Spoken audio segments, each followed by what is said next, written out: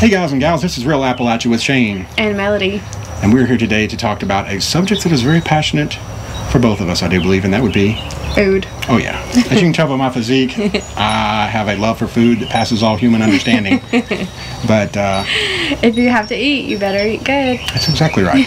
I might get emotional in this one even. I'm trying to prepare, so I mean, okay. I might get worked up and have tears over food. That's okay. I will get right into this. Uh, if Melody's voice sounds familiar with you to you guys, it is because she's been doing our TikTok and Instagram posts and doing a fantastic job. You'll hear more from her and see more of her too in the future. So thank you for your contributions. Uh, we'll get into this right off the bat. I just want to ask you if you had only one town in all Southwest Virginia that you had to go to eat, where would it be?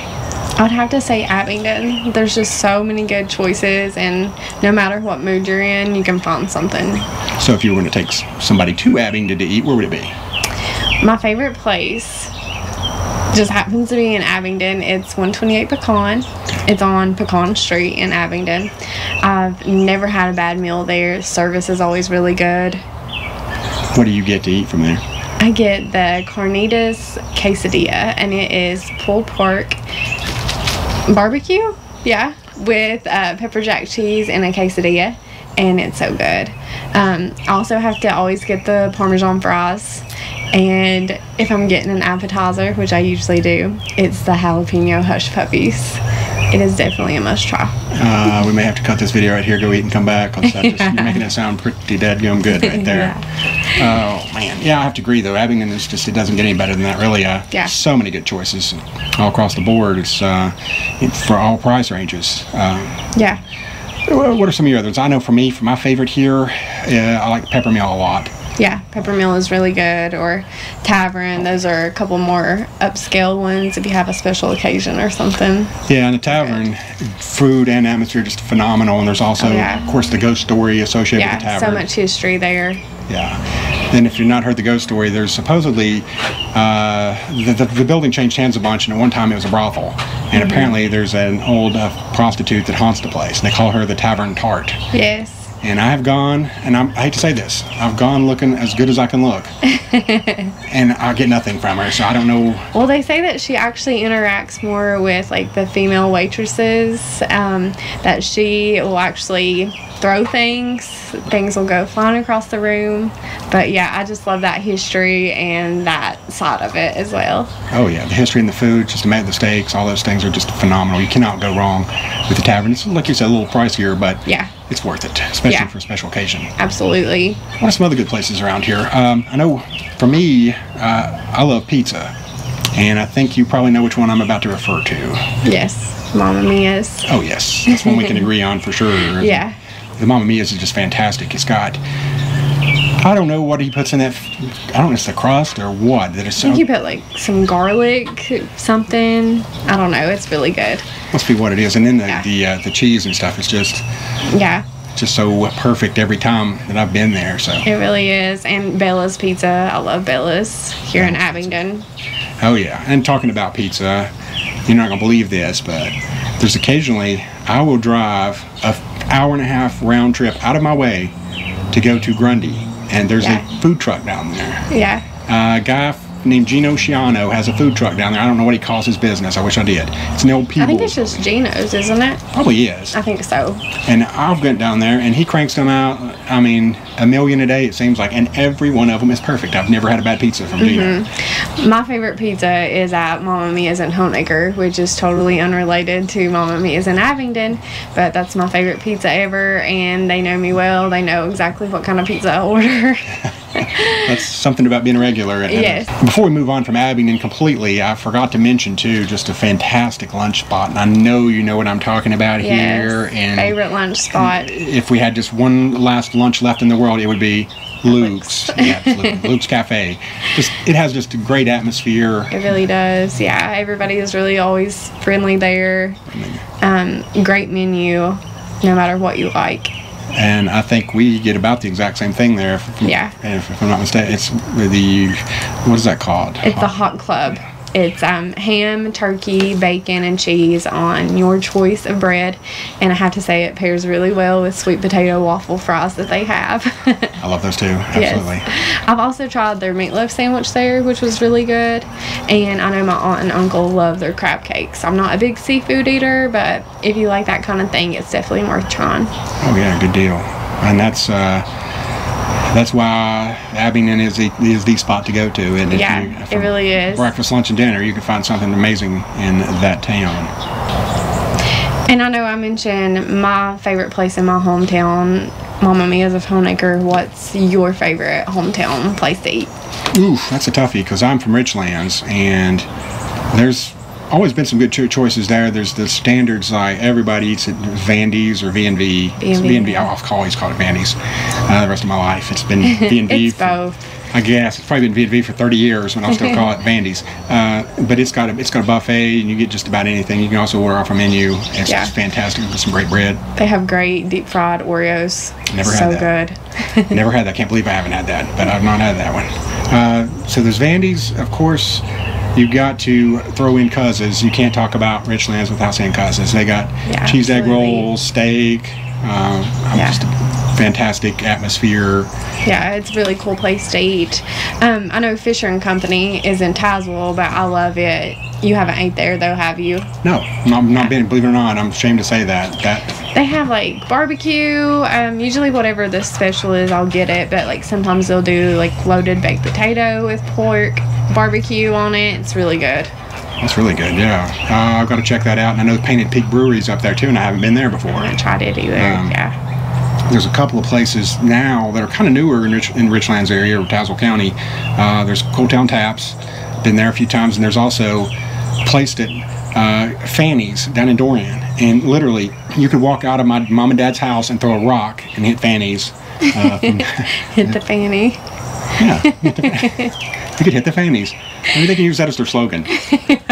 I'd be specific to my mom and dad, but It is really good. They have really good food there. good deal. It's in Doran. Yeah, it's in Doran, right beside the post office. Okay. Uh, I was born and raised there, so up Awesome. pretty close to there. Yeah. Okay, getting out of our hometowns and Abingdon, what are some of your favorite spots throughout the rest of Southwest Virginia? I have to say the Burger Bar. Um, it's on State Street, but it is on the Virginia side. If we're keeping in Southwest Virginia, I love it. They have like a Hank Williams theme to their menu. I guess I always get the Move It On Over burger. It's got bacon, cheddar cheese, caramelized onions, barbecue sauce. It's so good. Yeah, I love that too. It's a great, great, great choice there. So I can't, I can't argue with that one. Yeah. You do know that that was the last place Hank Williams was seen alive. He got his last meal there. I do You know this? that. You Yeah. know that. Okay. Yeah. Well, you could say I think that that place is to die for. Yeah. I think we should move it on over from that subject. Good call. Moving right along, moving it on over or whatever. Uh, I'm trying to think. There's a couple of you can't, you can't mention Southwest Virginia food without mentioning Dip Dog and Marion. yeah, definitely. It's amazing. Now Yeah. I love mustard, and they things they bathe those. Well, they do. I don't like mustard. You have to ask for it without mustard if you're not a fan like me. Uh, you, yeah, you gotta. That's just against the law. It should be to eat it without mustard, but that's to each his own. I do guess. That's all right. Uh, another place I wanted to mention is the Galax Smokehouse down there. Man, you talk about, and I love barbecue. I would say on any given day, it's my favorite food, and the Galax Smokehouse is great because the, ba- the barbecue is really solid, no question. But their dessert is mm-hmm. phenomenal. They got banana pudding that was, I think it was in Southern Living magazine. Ooh, that sounds so good. Oh, it is, and I'm a banana pudding snob. Yeah. I mean, I can put that stuff away, and if I Oh, say it's yeah. good, you can take try, take take it to the bank. So Yeah. I definitely want to plug Galax Smokehouse. Yeah. Uh, Speaking of desserts, I didn't even throw in Anthony's in Abingdon or Blackbird Bakery. Those Oh, are both really great spots for dessert. Um, and I am a sweet tooth person. I love my cheesecake and cake and all of it. So yeah, if you choose to go to Anthony's, what do you get there? I always get cheesecake. They have this um, brookie cheesecake. It's like a brownie crust with cookies and cream cheesecake, chocolate mousse. Yeah, it's really good. You can't beat it. Yeah, I like Anthony's a lot too. And Bev, you said Blackbird Bakery, which is in Bristol, Virginia. It's just right down from Burger Bar. You can literally walk Mm-hmm. It really can't you? is, yeah. Uh, I get I get there, go there a lot. My son loves it, and uh, I always get the creme brulee. Yes. If it's, if they have it, they mix their stuff up some, but that's some really good stuff there too. Oh, we didn't mention um, Sugar Hill Brewery and Cidery. I haven't tried the brewery, um, but the cidery Mm-hmm. is in Norton, and it's really good. Great atmosphere. Oh yeah. Lots of things on the menu to choose from, depending on what kind of mood you're in. You could probably go and eat there and eat something every day that was different. Yeah, it's great. I, I, I love cider, so they have some really good ciders that I like. The brewery I have ate there too in St. Paul, and it is it is really solid too. I like the app. I love them both. It's hard to pick. It's like Yeah. saying who your favorite child is or something. But I love the cidery because the atmosphere where you can sit out.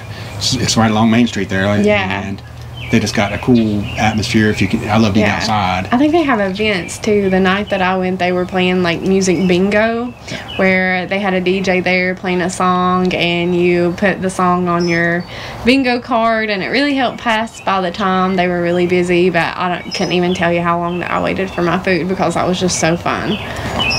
That's a place too that, and I'm I'm a like a trail horse. I go most places eat the exact same thing over and over and over and over. Yeah. again. but not there. I've always tried something different. It's always been good. So Yeah. I've been really happy with it. So that's a good, definitely one worth mentioning. Okay, so I need to mention a couple other spots too. I did this uh, post on the Appalachian Project uh, a few years back, Mm-hmm. and it was like top ten food places I've been to in Appalachia, and I caught so much flack from one place in specific, and that was people, the good folks in Pound, Virginia, gave me down the road about not saying ho- Robo's. Robos driving. it. Oh, it's good. Yeah. I made I made it from a mistake. I, I stopped there and it's just amazing. I get a grilled cheese sandwich, hamburgers, hot dog. Everything's great, and it's just got that old throwback feel. You they don't have a place to sit inside, so you get in your car and you order, and then they call your number out. Just Okay, cool. like the King Cone was in Richlands, if you remember that. Oh yeah. Uh, so it's a very similar type setup, and so people of Pound. You have my apologies, and I'm making up for it by I've never went past it and not stopped. so that's a good one. Uh, of course, Scott County is known for the Hobnob. Um, Have you been there? I've ate there once. Yeah. So yeah, the Hobnob it stays jam packed. You can barely get a seat in there, so it's a local legend as well. Yeah. Also, kind of like a little diner place too, right? Burgers, sandwiches, that kind of thing. It's a shakes. Yeah. I got strawberry shortcake there. Um, Ooh. mm, love it. I got Like I said, I love my dessert. yeah, star- strawberry shortcake's really really good. There's also a couple places we've been wanting to try. We haven't had a chance to hit up yet, but really excited to check them out. Mm-hmm. One is the Dutch Treat in uh, Rose Hill, which is in Lee County, and it is uh, down there. And man, checked it out on the online. Their website just fantastic. Had Again, they had desserts galore. yeah, so I'm really excited about it. It looks like they have your choice of sandwiches, like build your own kind of thing. So I'm really excited to try it.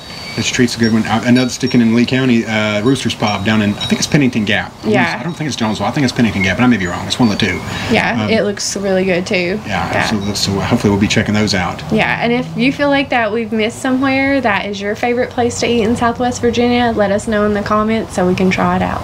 Yeah, because we're all about the food here, and we'd hate. That's all right. I mean, nothing. I nothing would make me we cry. wouldn't want any place to pass us by. That's for sure. exactly right. So, I hope you guys enjoyed this little look at Southwest Virginia food choices, and go out here and check some of these places out. Throw them your business, and hey, tell them Shane and Melody sent you. That's right. won't do nothing for you, but make us feel good, I guess. I don't know.